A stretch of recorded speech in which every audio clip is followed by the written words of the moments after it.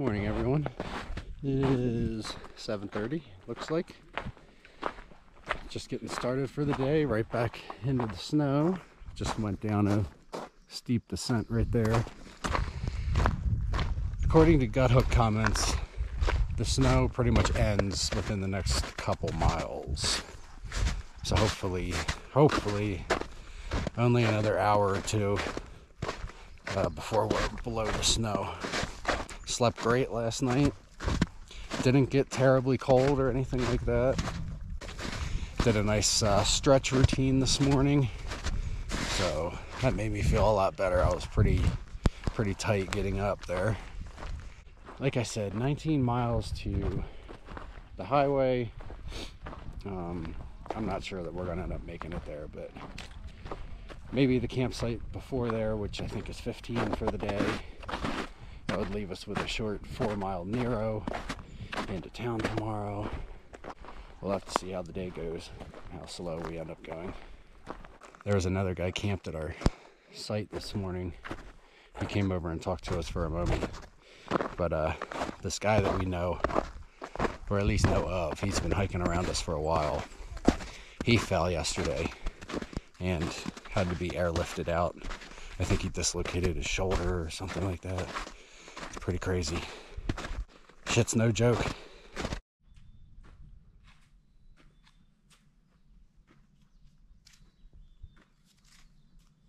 Way down there is Cabazon. Um, I know that because I can see the casino. it's just one giant building that stands out from everything else. It's definitely what it is. So we could possibly be there tonight or sometime tomorrow. View just keeps getting better and better. Let me turn it around here. Ooh. It's so nice when you take the micro spikes off. Your feet feel so much lighter. And when you're walking with micro spikes and there's no snow on the ground, you know, for short stretches like this, it's just really uncomfortable. It just feels awkward. I think we're pretty much through everything. Should be pretty dry from here on out. And now we have a very, very long decline. Let's see how the knees hold up. And when I say long, I mean like an 18 mile decline.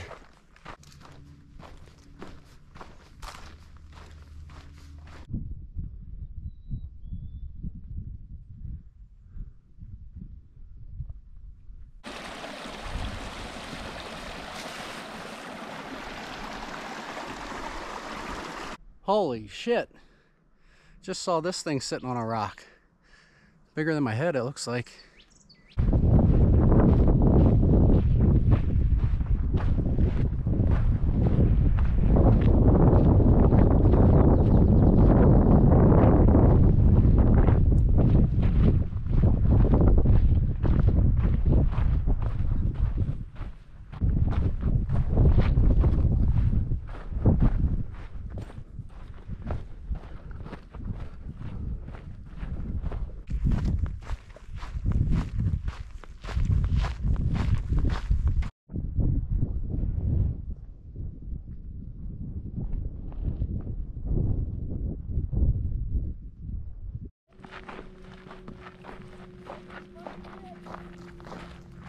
Like I knew those others were. I thought they were gopher. I have no even guess for this guy.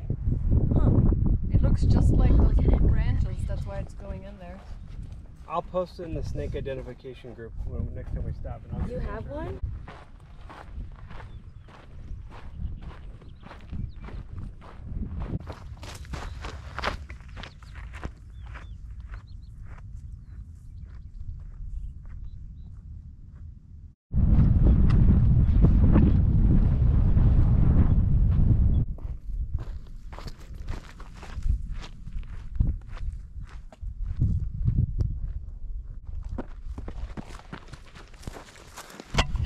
Apparently Chap at every mile marker he sings that damn song I would walk 500 miles I hate that song but I just heard him belting it out in the distance.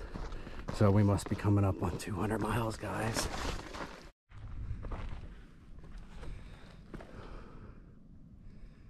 Two hundred miles down, guys. That's a big deal. Walking down here, I kind of did the math and I realized that I just have to do what I just did 12 more times until I'm finished with this trail. And maybe that sounds like a lot to some of you, but to me, it doesn't at all. Um, I feel like I'm just getting started, and I know before long we're going to be halfway done, and this is just going to blow by, just like the AT did. 200, feeling great physically, overall, just in a good mood. Um, I don't really have any complaints. The snow could calm down, but that's just part of the PCT. And if you guys are still following along after 200 miles, I appreciate y'all too, because y'all are a part of this journey also. I mean, this is a completely different experience because I'm vlogging, not in a better or worse way necessarily, but it's different. So I appreciate all of you. Chapin Roadrunner got a room at the Days Inn in Banning, um, and they offered they offered to share the room with me.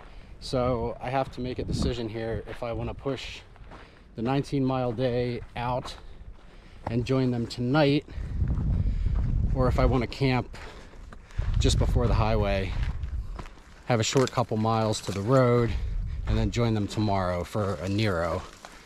They were planning to hike 19 miles, stay in town tonight, and then have a zero, a full zero tomorrow. I don't really need a zero. A long Nero would be nice, so I, I may opt for that just to save a few bucks. But to reiterate, another point that should be made is we're going to be getting to the Sierras early. So if we want to take a few extra zeros and have a little more fun, now's the time to do it. Because we do kind of have some time to kill for the weather window. See what I feel like at the end of the day. There's another 200 sign. There's Chapin Roadrunner down there. Hey guys, wave! Oh, I was like, where are you talking about? It's right at this second 200 sign, so it's kind of neat. oh, that's cool. Congrats on 200. Woo!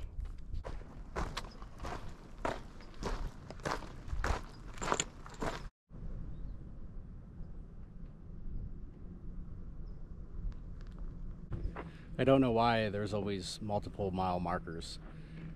It's like someone makes one and then a little farther down the trail there'll be a better clearing or something with more space or someone will make an even bigger one. So us hikers hit one, we take all the pictures, we do the videos, then we hit another one that's even better. I've even seen like three or four on the AT for some some mile markers. It's kind of funny, but we only need one, guys. And the funniest part is that they're usually not at the exact mile marker anyway. They're usually just a little bit off.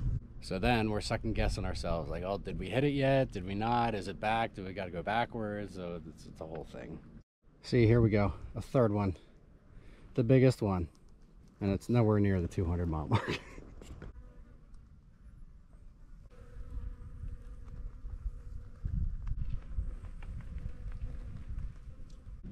Four.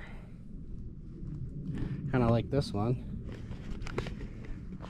I think what happens is people look at their Guthook or FarOut, whatever you want to fucking call it, who cares? They look at their app and they realize that they passed it and no one wants to walk back to find the actual mile marker. You fucking kidding me with this? Nowhere near 200. This one looks official though.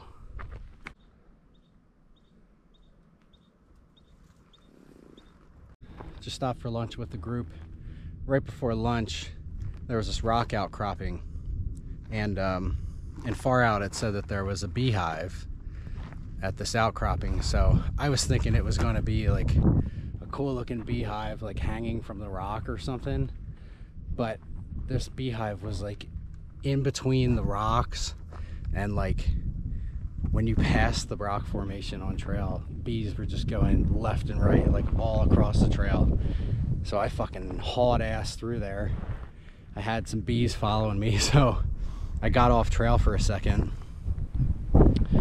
Finally got away from the bees, met up with the others, and then uh, Roadrunner was stopped, you know, a little bit ahead of us on trail. She had heard a rattlesnake and saw a rattlesnake right in front of her. Um, and apparently the rattlesnakes have been everywhere today. All these hikers around us have all seen rattlesnakes. I haven't seen any yet, but keeping my eyes peeled.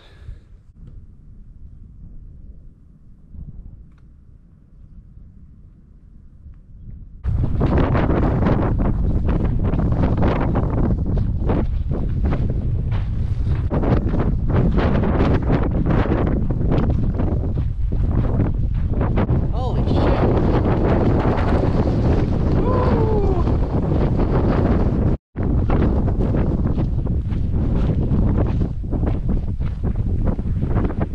Just about stepped on a big ass snake.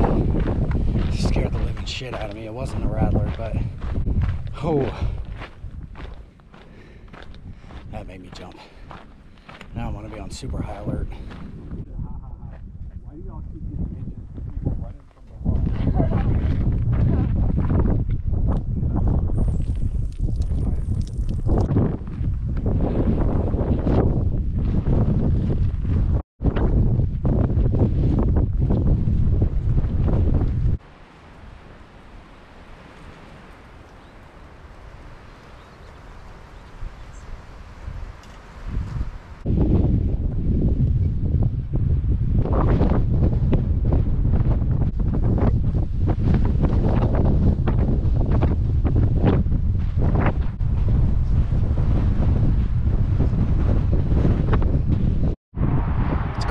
Like we were up in those mountains early this morning. Wild. Now we're under this shitty graffiti bridge. I kind of can appreciate graffiti, but I understand why people don't it. If it's on like a bridge or something or a building, that's one thing. But when you paint rocks and shit out here. Look at this. Mission Creek should be avoided.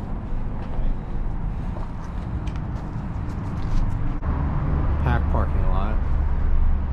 Oh, there's hooks. Got some chairs just underneath the bridge. It's a nice hiker hangout.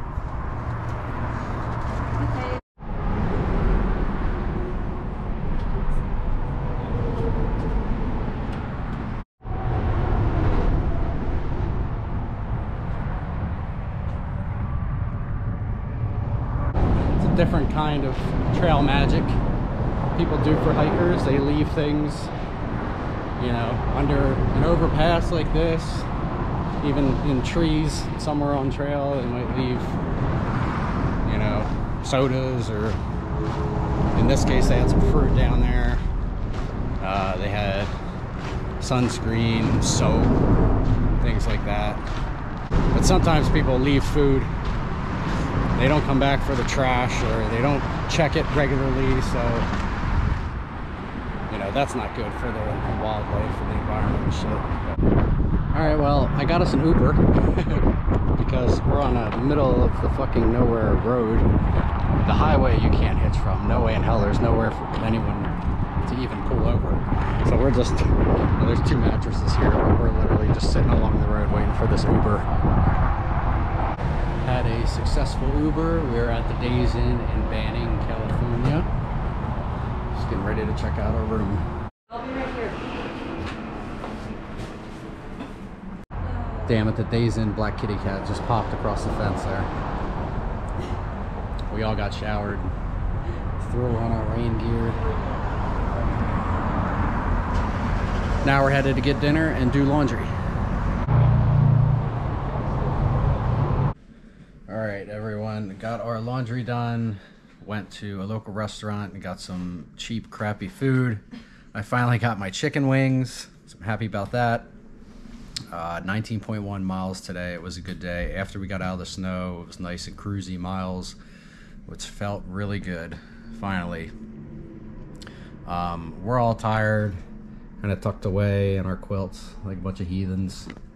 Gonna finish this free beer provided by Chap and catch up with you guys in the morning. Tonight, I want to say I love you to my kitty cat, mama girl. I'll see you all in the morning. Good morning, ladies and gents. Sorry, I can't really see. The sun's kind of bright. Just walking across the street from the hotel to the Starbucks. Gonna get some breakfast and get this day going. Been trying to upload some videos all morning. Uh, thinking it's gonna be a zero day because why not? I mean, at the end of the day, this is a fucking vacation, right? I might as well rest a little bit. Yeah, not sure what we're going to get into today. We have to resupply. Um, but that's really the only chore that we have. So it's going to be a lot of laying around and doing the social media thing.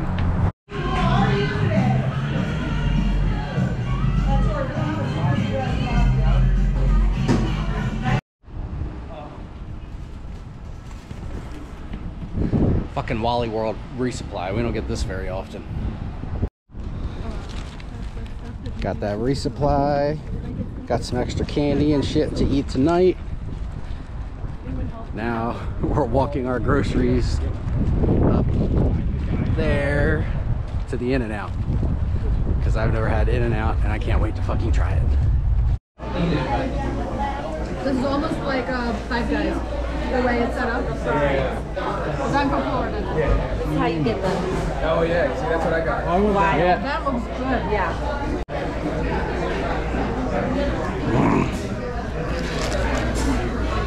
Doesn't the sauce just taste like a Big Mac sauce? Do, do what you need to do. Yeah. Yeah. Gotta say I'm a fan. New trail hat. It's weird. Since our adventure at In and Out, this is what we've been doing all day. Exactly what Chap's doing. We just had large, cheap meals at Taco Bell. Um, and that's about all I have for you.